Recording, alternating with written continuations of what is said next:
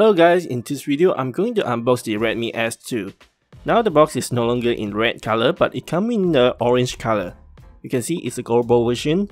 At the back it says 16 megapixel AI power front camera and 12 plus 5 megapixel AI power dual camera, 5.99 inch screen and Snapdragon 625 processor. You can see it's a gold color in 3GB and 32GB ROM. Now let's unbox it.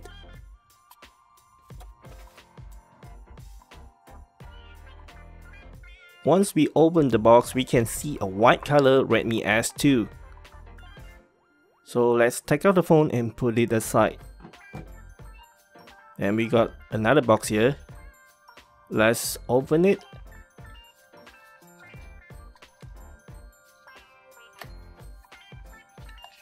So in this box, we can see a user manual.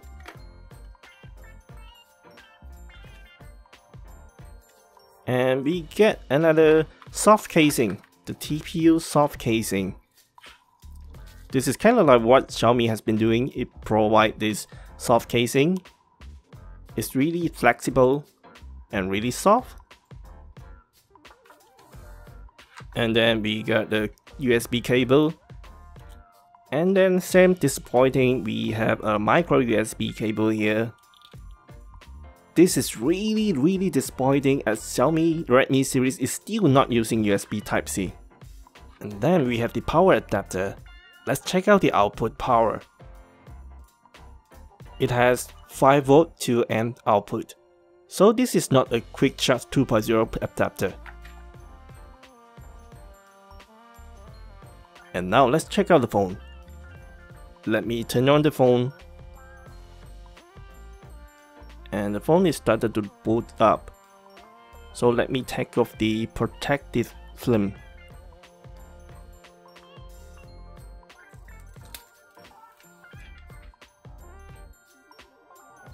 And move to the back. There is another film with some information and IMEI numbers. Take it off The phone is coming with MIUI 9. Hopefully we can get to update to MIUI 10 very soon. Let's try out the TPU soft case. It fits very good. All the cutout are in the place. And we can see on top there is a earphone jack, IR blaster and microphone. On the left, the volume button and the power button. On the bottom, the microphone, micro USB port, and speaker. And the card slot. Now let's check out the camera flash. It is not a dual tone flash, but it has a 12 megapixel and 5 megapixel cameras, and a fingerprint scanner at the back, and the Mi logo at the bottom. So let's take off the TPU soft case and take a close look at the antenna here it is a full plastic body with the antenna exposing at the back. It is not like the Redmi Note 5 which have the plastic cover at the back. I mean some tiny part on the antenna. Like this, this is a black light of antenna that expose outside of the casing. This plastic body looks a lot like metal, but anyway, it is just a plastic. I feel a lot like the phone is empty. Maybe it's because of the smaller battery. Finally, we get the Redmi series support two SIM cards at the same time together with another micro SD card as well. As we can see, there is a dedicated micro SD card slot and two SIM card slots.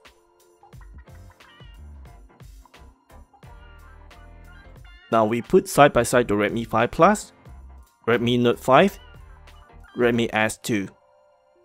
They look kinda similar from the back, but let's compare the Redmi 5 Plus and Redmi S2. We can see the big difference is the single camera and the dual camera. And here we can see the Redmi 5 Plus support the dual tone flash compared with the S2 single tone flash.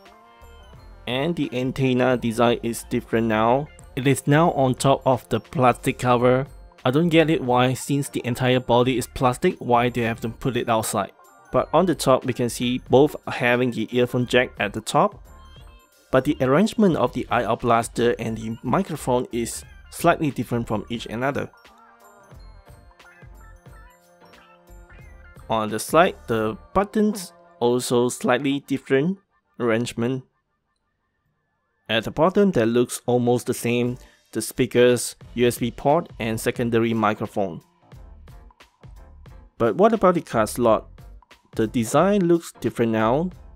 Now the Redmi S2, the hole is on the body instead of the card slot. Then we put side by side, the screen size is exactly the same. If you're not familiar with the Redmi series, it's difficult to tell which one is Redmi S2. And now let's compare the Redmi S2 with the Redmi Note 5. Now the screen resolution is different from each another.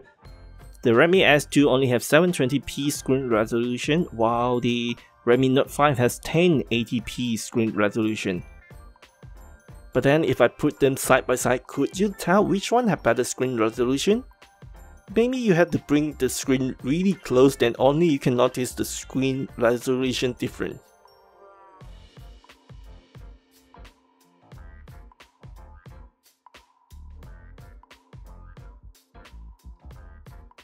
And now let's flip the phone to the back, then we can see the camera design are the same except the dual tone camera flash and the specification of the sensor and aperture is different from each another. On top of the phone, we can see the major difference is the earphone jack on the S2.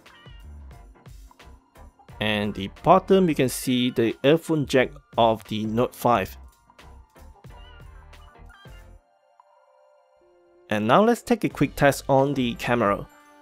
We open the camera app and we take a normal setting Then we switch to portrait mode for the dual camera.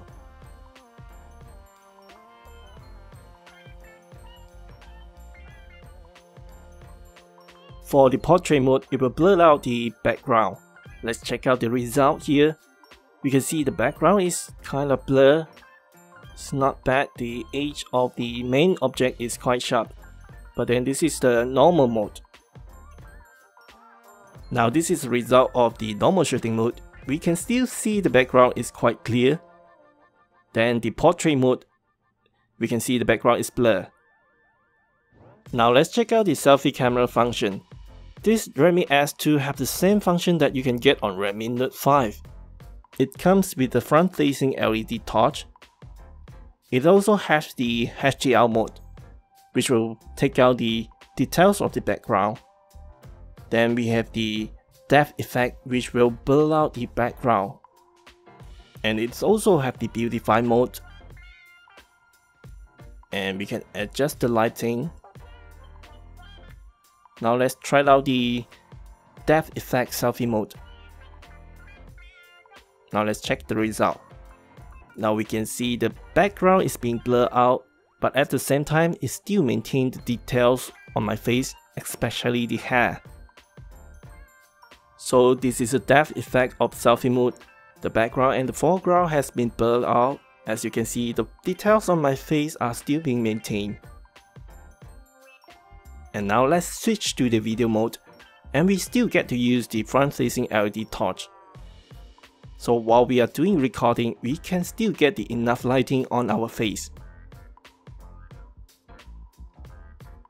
Aside from that, we can still choose the focus and exposure points while we are recording. As we all know, Xiaomi has been selling out the Redmi S2 as a selfie camera smartphone. So let's check out the selfie photo from the Redmi S2.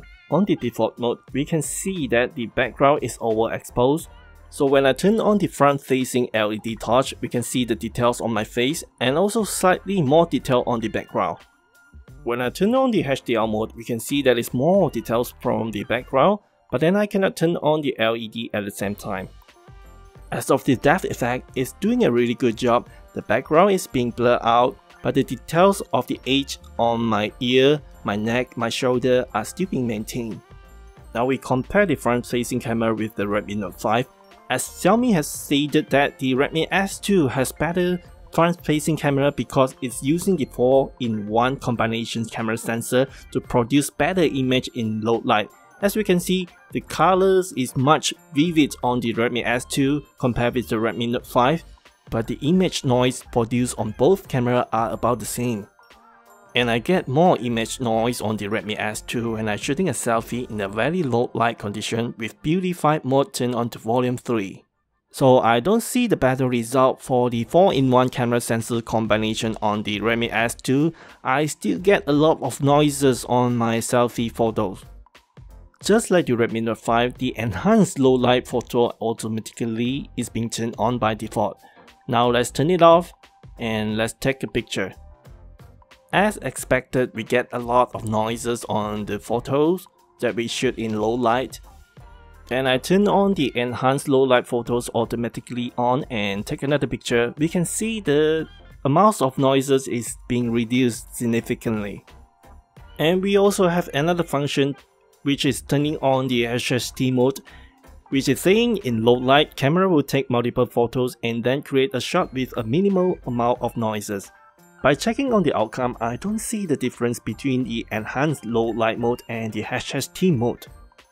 When I put the photos side by side, we can see there are a lot of noises on the top image, but on the second and the third one, they looks about the same. Now let's compare the photo with the HDR mode off and on. The current image is the default setting uh, with the HDR mode off. We can see there are some details on the houses, also some details on the sky. But then when we turn on the HDR mode, we get a lot of details on the skies, but then we're also losing a lot of details on the building below. Here is another image with HDR mode off. And we turn on the HDR, we can see a lot of details on the sky but losing a lot of detail on the houses. Now this is a back camera with HDR mode off. When I turn on the HDR, I get a lot of details on the sky and the details on my face is still being maintained. I guess it worked different when you have something close enough for shooting compared with the landscape that I have shown earlier. Here is the dual camera's portrait mode, it's doing a really good job by blurring out the background but still maintain the edge of my body and head. And as of the video, I think it is doing okay with the dynamic range of light. And recording a video at night, I think the result is acceptable consider this phone is only costing less than 800 Malaysian Ringgit.